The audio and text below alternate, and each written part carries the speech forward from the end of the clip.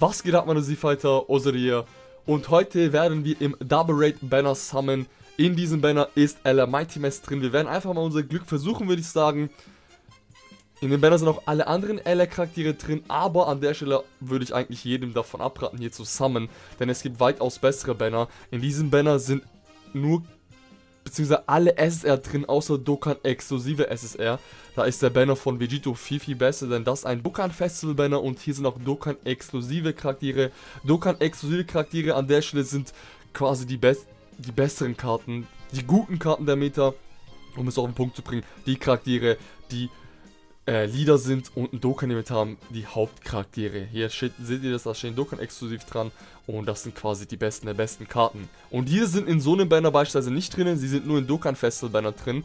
Deswegen würde ich eigentlich von hier abraten, denn da sind halt wie gesagt wirklich alle SR drin, auch die LR zwar, aber aus den meisten Charakteren, die hier drin sind, braucht man eigentlich braucht man nicht, will ich nicht sagen, es sind mehr oder weniger Teammitglieder statt Leader, sagen wir es einfach mal so. Und die Dokkan Festival Charaktere beziehungsweise Banner sind an der Stelle besser. Wir sehen schon, es sind sehr viele gefeatured, aber die Sache bei so einem Banner ist halt, es ist ein Double Rate. Was heißt Double Rate? Heißt die Rate äh, für SR, die droppen, sind höher und speziell in so einem Double Rate Banner, im Rising Dragon Carnival Banner, sind nur SR Charaktere. SR und höher. Deswegen wollte ich einfach mein Glück versuchen, zumal auch Mighty Mess in dem Banner ist aktuell beziehungsweise mit diesem Banner released wurde. Nicht gefeatured aber. Ähm, wir werden ein paar Singles am raushauen. Ich weiß nicht wie viele. Wir fangen einfach mal direkt an, würde ich sagen. Warum mache ich das Ganze trotzdem? Wie gesagt, damit ihr auf jeden Fall mal seht, wie das Ganze funktioniert mit dem Double Rate Banner. Und ich bin gespannt. Ich will endlich mal wieder ein paar SR pullen, ja. Auch wenn es an der Stelle bessere SR gibt. Beispielsweise der Banner für Vegito wäre auch für mich eigentlich besser. In dem Sinne her, logischer. Ah, wartet mal, wird das schon ja, seht ihr, Ballgeist, das ist ein Double Rate Banner, das ist ein Double Rate Banner, das soll ich sagen. Erster S ist der erste Single Summon, okay? Eigentlich wäre der Dokkan Festival Banner von Vegito für mich besser an der Stelle, weil ich ihn selbst noch nicht gezogen habe. Oder dreifach Gotenks mir fehlt. Aber ich dachte mir, komm, wir versuchen unser Glück. Elemite Mess ist in den Banner. Es ist ein Double Rate Banner. Wir sehen schon, die SR Rate ist höher, wie schon des Öfteren gesagt. Und ich wollte einfach mal wieder SSR ziehen. Ja, auch wenn es quasi manche sind, die man nicht so häufig braucht, die ich auch nicht gebrauchen werde, wenn ich ehrlich bin. Ich sag straightforward. Ich werde viele der Charaktere, die wir ziehen, wahrscheinlich vorerst nicht benutzen. Aber mein Gott, sei es drum, ja. So habt ihr das auch mal gesehen, auf jeden Fall, wie das Ganze läuft. Noch ein Splitscreen? Bitte? Ja? Nein? Diesmal nicht. Diesmal nicht. Diesmal war ich zu sehr gehypt. Diesmal war ich zu sehr gehypt. Äh, denn wenn er sich in Super Saiyan 1 verwandelt, heißt es, es ist garantiert ein SR und hier sind wie gesagt nur SR-Charaktere und höher drin. Oder es ist eine Chance, dass es ein SR wird und dann bekommt man quasi ein Crack-Screen. Genau, Leute. Zwei Sing-Summon haben wir schon. Zwei Sing-Summon haben wir schon. Und ein SR. Das ist Double Rate. Beziehungsweise, äh, wenn wir über die Zahlen reden, wie funktioniert das Ganze denn genau? Es ist nämlich so, in normalen Bannern ist die Rate der Charaktere die SSR Drop Rate für 10%. Diese 10% betrifft jeden SSR in diesem Banner. Das wird aber geteilt. Nämlich, wenn wir jetzt mal von einem normalen Banner ausgehen, wie der Banner von Vegito Dokkan Festival Banner, ist da die Drop Rate für SSR Charaktere 10%. Für alle SSR. Aber das wird geteilt, wie gesagt. 5%, also die Hälfte dafür sind für die gefeaturten Charaktere, heißt die Anzahl der gefeaturten Charaktere.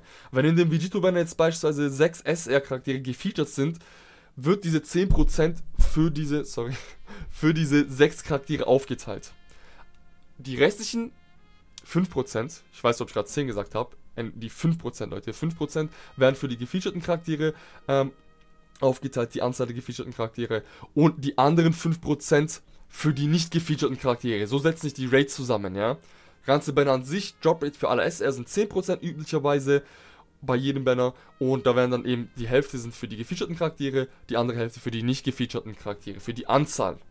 Bei dem Double Rate Banner ist halt die An der Prozentsatz ist hier nicht bei 10%, sondern 20%, also verdoppelt, Double Rate, ja, da kommt das doppelte Rate quasi, um es auf den Punkt zu bringen. Und genau, so viel dazu. Es sei denn, ihr würdet hier auch noch vielleicht ein oder anderen Charakter gebrauchen, der Fierce Battle hat. Da gibt es schon ein paar Charaktere, die Fierce Battle haben. Beispielsweise der physisch Gotenks, der mir einfällt. Dann könnt ihr da vielleicht mal euer Glück versuchen. Und ich kann euch ja verstehen, wenn das ein bisschen jemanden reizt, bei einem Double Banner zu ziehen, weil die SR Drop Rate höher ist. Aber ich würde da wirklich nur reingehen, wenn ihr ein paar von der großen Auswahl der Charaktere auch braucht. Noch ein SSR. GG, Vegeta, nehmen wir an, nehmen wir an. Aber zum Beispiel der Vegeta. Ja, cool. Ich, ich werde ihn wahrscheinlich nicht gebrauchen, ich werde ihn trotzdem erwecken auf, keine Ahnung, die Pfade und so weiter und so fort öffnen. Wenn ich mehrere von habe, habe ich an der Stelle auch. Aber das war's auch schon, ja. Mir geht's quasi erstmal, auch wenn es sich ein bisschen dämlich und verrückt anfühlt, ums Feeling, hier einfach mal SR zu pullen, ja. Macht auf jeden Fall auch Fun. Andere Sache ist aber, wie gesagt, ihr solltet nicht vergessen, dass ähm, nächste Look Festival Banner eigentlich der von Angel Golden Freezer sein sollte. Kategorie Banner, der ist weitaus besser als so ein Double Rate Banner zum Beispiel. Oder halt so das kommende groß. Oh, diesen Tals. Dieser Tals gibt mir gerade Flashbacks an Margin Vegeta Summons. An die Margin Vegeta Summons. Ich habe da so viele von ihm gezogen. Ich habe ihn, ich hatte ihn davor nicht einmal. Dann habe ich ihn instant hochbringen können nach dem Summon bei Margin Vegeta auf SC10 und alle Dupes offen, glaube ich. Heißt, ich, den brauche ich wahrscheinlich gar nicht mehr. Anyways. ähm, so in Zeit 3, 4, 5 Parts, okay. In der nächsten Zeit so die größten, nächsten besseren Banner wären die von Tech Vegito Blue und von Strength Rosé. Also da würde ich auf jeden Fall euch raten, eure Stones dafür zu sparen. Anyways, genug geredet würde ich sagen um die ganzen Raids, um was es, um was es hier eigentlich geht. Jetzt genießen wir mal die Summons. Jetzt genießen wir mal die Summons. Wir haben drei SR schon gezogen. Ähm, ich weiß nicht, wie viel Stones ich verschwenden werde, weil wir Singsam raushauen, werde ich wahrscheinlich nicht so viele verschwenden.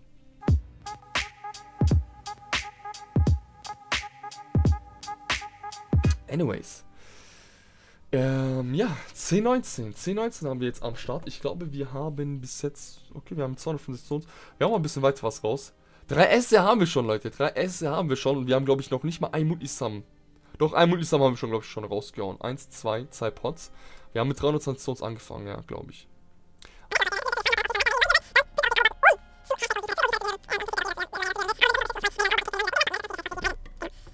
Double Rates. 1, 2. Es ist auch so, ja, ihr dürft natürlich nicht erwarten, dass jeder, dass ihr nach jedem Sing SR bekommt. Nein. Die Rates sind zwar verdoppelt, aber wir wissen trotzdem, wie das mit den SR funktioniert. Die droppen trotzdem gering. Ja. Aber wir haben schon gesehen, wir haben schon drei SR gezogen in mehr oder weniger einem plus minus einem Multisum. Das ist schon mal was Geiles. Und zum Glück sind auch keine R-Charaktere. Heißt, wenn wir so ein Baseform sehen oder so, müssen wir nicht verzweifeln oder Herco to the Right sehen, das ist, oh geil, R-Charakter schon wieder. Sondern an der Stelle könnte es auch was Geiles sein. Keine Pots, gar nichts. Bam, runter mit dir. Und Baseform. Das muss eigentlich ein, das muss ein Crackscreen sein. Oder. It's over! Crackscreen, it's over.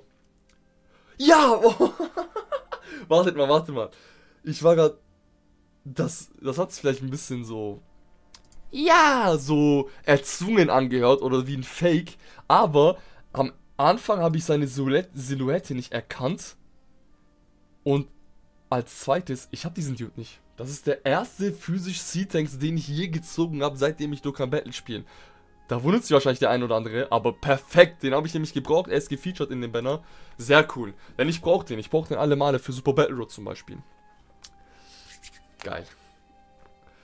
Eins, zwei, drei Pots, drei Pots. Hat mich gefreut. Back-to-back Crack Screen.